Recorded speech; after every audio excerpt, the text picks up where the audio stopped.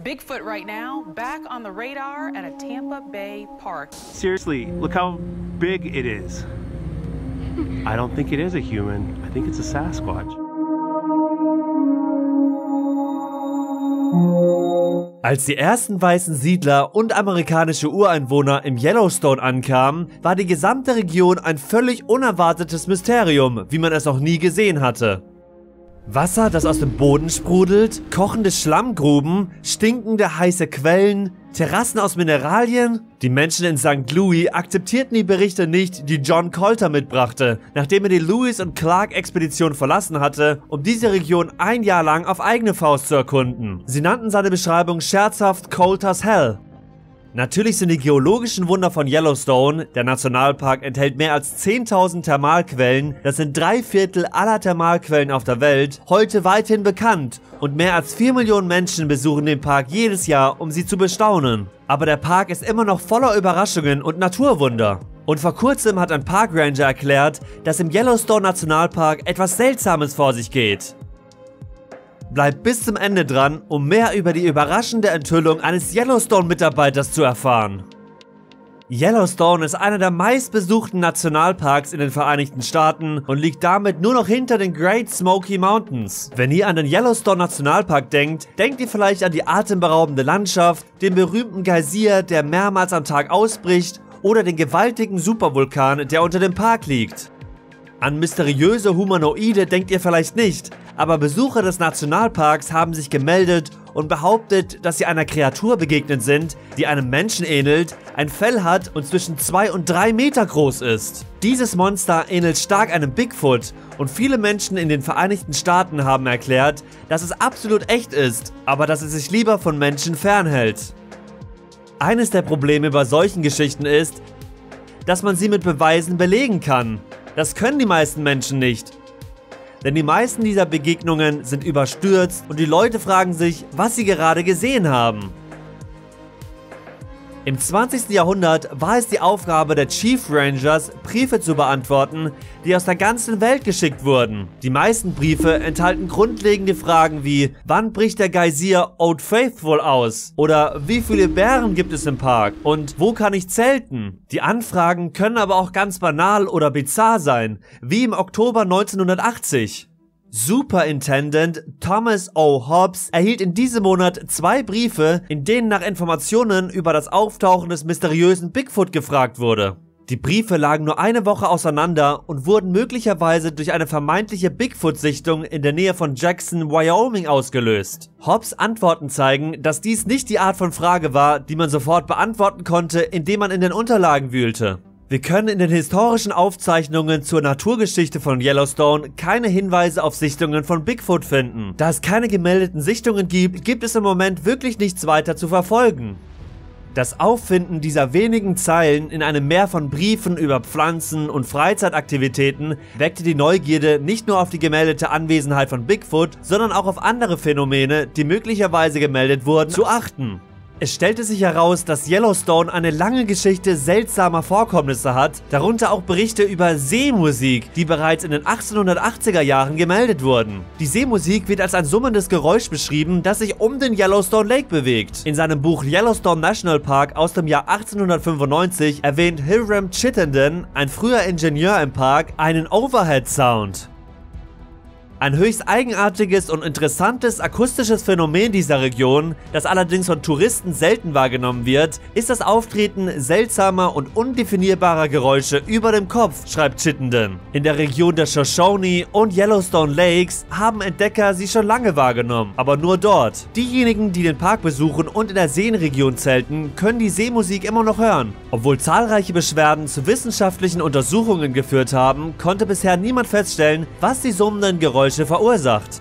33 Jahre nach den Briefen, in denen nach Sasquatch-Sichtungen gefragt wurde, kann das Archiv nicht behaupten, offizielle Unterlagen über Bigfoot-Begegnungen oder Aufzeichnungen zur Erklärung der Seemusik zu haben. Das Yellowstone-Archiv verfügt jedoch über Briefe und Antworten der Chief Ranger an neugierige Menschen auf der ganzen Welt mit Anfragen, die vom Alltäglichen bis zum Ungewöhnlichen reichen und alle darauf warten, entdeckt zu werden. Einem Park Ranger gelang es jedoch vor kurzem, Beweise für einen vermeintlichen Bigfoot im Yellowstone Nationalpark zu sammeln.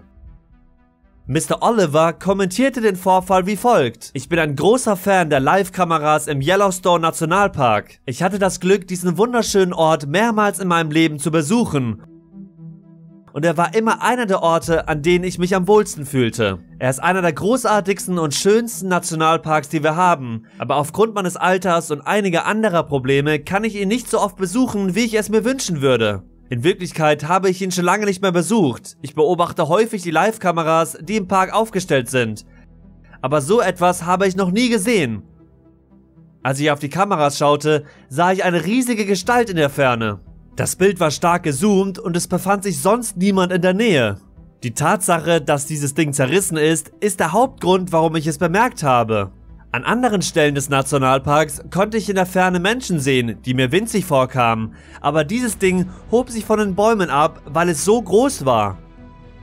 Obwohl es immer wieder Geschichten über Bigfoot im und um den Yellowstone Nationalpark gibt, bin ich bei diesem Thema immer ziemlich unvoreingenommen geblieben. Mein enger Freund hat mir Geschichten erzählt, wie er im Yellowstone Nationalpark zeltete und dort auf etwas traf, das er nicht beschreiben konnte. Er ist fest davon überzeugt, dass es sich bei dem Wesen, dem er beim Zelten begegnet ist, um einen Bigfoot und nicht um einen Bison handelt. Ich würde gerne eure Meinung dazu hören, deshalb habe ich das Foto unten noch einmal gepostet. Ich sage nicht, dass es ein Bigfoot war, aber ich kann mir nicht vorstellen, dass es ein Mensch sein könnte. Es stach sehr hervor. Und wie ich schon sagte, ist dieses Monster im Vergleich zu den umliegenden Bäumen ziemlich groß.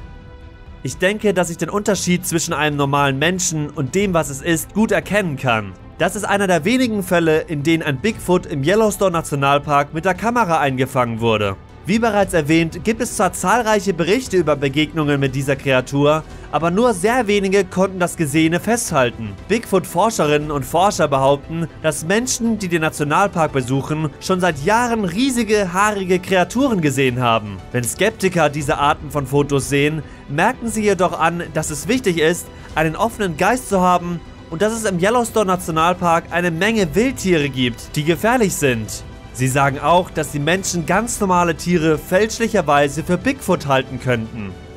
Das stimmt zwar und es ist wichtig bei der Untersuchung dieser Vorkommnisse so viele Nachforschungen wie möglich anzustellen, aber es gibt nur eine begrenzte Anzahl von Erklärungen, die angeboten werden können. Augenzeugen, die behaupten, Bigfoot im Yellowstone gesehen zu haben, glauben, dass die Kreatur nicht mit den einheimischen Wildtieren verwechselt werden kann und behaupten, dass es in dieser Region keine humanoide Spezies gibt und schon gar keine, die solche Höhen erreichen kann.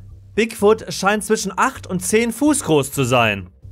Man nimmt an, dass er eine Gesamtarmlänge von 120% seiner Körpergröße hat, vergleichbar mit der eines affenähnlichen Wesens mit verlängerten Unterarmen.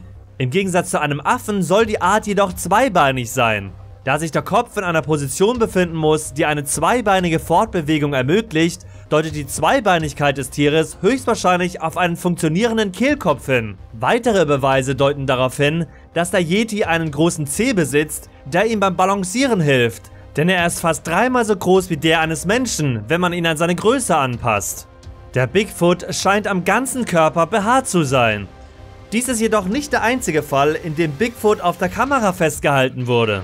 Einige Bigfoot-Kenner behaupten, dass die Aufnahmen, die 2015 im Yellowstone Nationalpark gemacht wurden, nicht nur einen, sondern gleich vier der mythischen Monster zeigen. Das Video zeigt Bisons, die durch einen schneebedeckten Park wandern, bevor vier aufrechtgehende Kreaturen im Hintergrund auftauchen. Zu Beginn des Videos steht in der Bildunterschrift Nachrichten, die ihr nicht sehen sollt. Die Aufnahmen, die in der Nähe des Geysirs Old Faithful in der Touristenattraktion gedreht wurden, brechen ab, bevor die Kamera einen guten Blick auf die Kreaturen werfen kann. Enthusiasten hoffen seit langem, Beweise für die Existenz eines Monsters zu finden, von dem man annimmt, dass es frei erfunden ist. Nach Ansicht von Wissenschaftlern handelt es sich bei den meisten Sichtungen um Verwechslungen mit anderen Arten oder um Fälschungen. Al Nash, ein Sprecher des Yellowstone Nationalparks, sagt, Bigfoot-Sichtungen sind nicht häufig, aber es kommt vor. Die Leute erzählen ständig viele verrückte Dinge über Yellowstone und Bigfoot ist nur eines davon. Trotz seiner umstrittenen Geschichte ist das Biest weiterhin ein weit verbreitetes kulturelles Symbol in ganz Nordamerika. Seit Jahrtausenden wird von Sichtungen dieses Tieres berichtet, die bis in die Zeit der Ureinwohner und der alten legendären Folklore zurückreichen. Was diese Behauptungen noch erstaunlicher macht, ist die Tatsache, dass Menschen auf der ganzen Welt immer noch auf diese Tiere stoßen. Geschichten über sie kommen aus Tibet, Amerika und sogar Australien. Trotzdem sind die Menschen geteilter Meinung darüber, was diese Kreaturen sind und ob diese Begegnungen glaubwürdig sind oder nicht. Glaubt ihr an die Existenz dieser Monster und sind die Geschichten über sie wahr? Sagt es uns in den Kommentaren.